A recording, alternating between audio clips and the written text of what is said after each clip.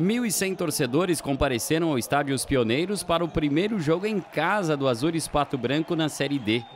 Pela primeira vez, uma equipe da região chega à disputa de um campeonato brasileiro. O confronto da noite diante do Caxias do Rio Grande do Sul. Com bola rolando, os torcedores viram um jogo fraco no primeiro tempo.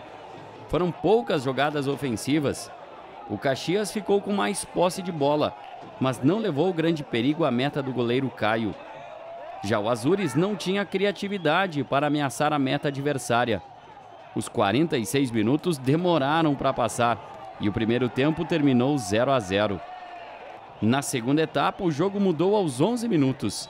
Escanteio cobrado por Fabrício Oia e JP desviou de cabeça para fazer o gol do Azures 1 a 0.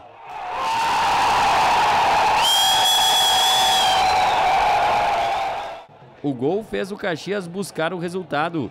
O técnico Luan Carlos mexeu no time e os gaúchos tentaram pressionar, mas a defesa do Azures estava bem postada. Aos 43 minutos do segundo tempo, o Caxias teve a chance, mas o goleiro Caio fez uma defesa precisa e salvou o time. Dois minutos depois, outra grande defesa de Caio, segurando o placar. 1 a 0 no estádio Os Pioneiros.